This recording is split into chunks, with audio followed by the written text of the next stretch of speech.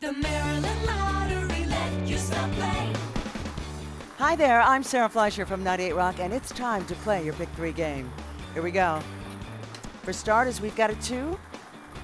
In the middle, that's a 4. Your final number for your Pick 3 game is a 3, making your Pick 3 numbers 2, 4, 3. And we'll get to your Pick 4 in just a moment.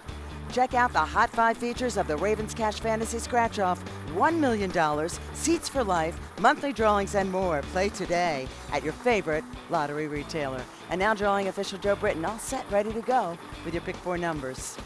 For starters, we've got a 6 as printed on the ball. Your next number is, that is a 9 as printed on the ball. Followed by, that's a 7 your last number for your pick four game. We've got a one.